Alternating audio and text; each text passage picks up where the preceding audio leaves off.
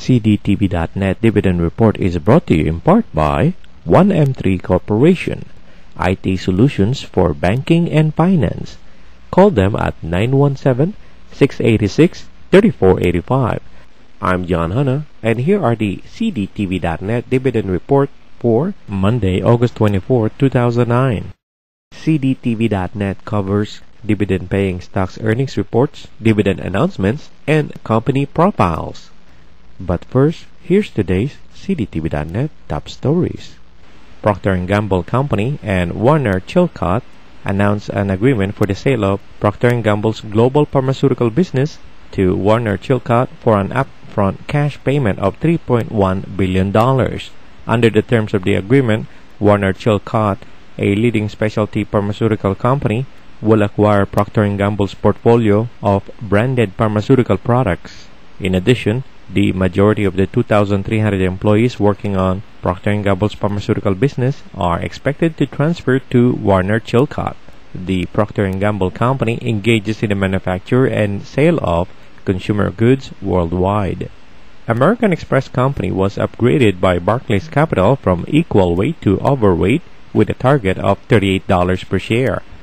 Capital One was also upgraded by Barclays Capital from equal weight to overweight with a target price of $50 per share. PNC Bank was downgraded by Bernstein from outperform to market perform. Stryker Corporation was downgraded by Thomas Weisel from overweight to market weight. And now, the dividend report. Minerals Technologies Incorporated declared a regular quarterly dividend of 5 cents per share. The dividend is payable on September 17 to shareholders of record on September 2, 2009.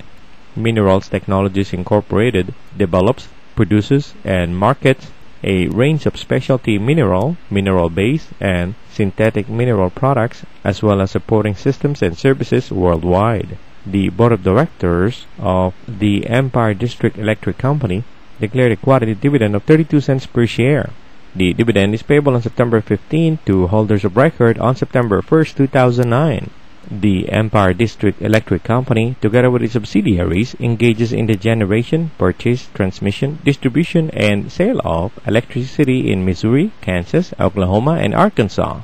The board of directors of Schlumberger Limited declared a quarterly dividend of 21 cents per share payable on October 2nd to stockholders of record at the close of business on September 2nd, 2009.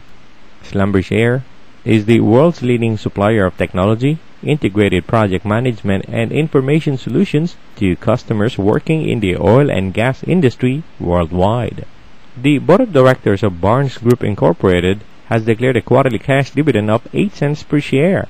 This is a reduction from the 16 cent dividend paid for the last four quarters. The dividend will be payable on September 10 to shareholders of record at the close of business on August 31, 2009. Barnes Group Incorporated is a diversified global manufacturer and logistical services company focused on providing precision component manufacturing and operating service support. The board of directors of McKesson Corporation declared a regular quarterly dividend of 12 cents per share. The dividend is payable on October 1st to stockholders of record on September 1st, 2009. McKesson Corporation, together with its subsidiaries, provides supply, information, and care management products and services for the healthcare industry. For more information about these dividends and other announcements, go to cdtv.net.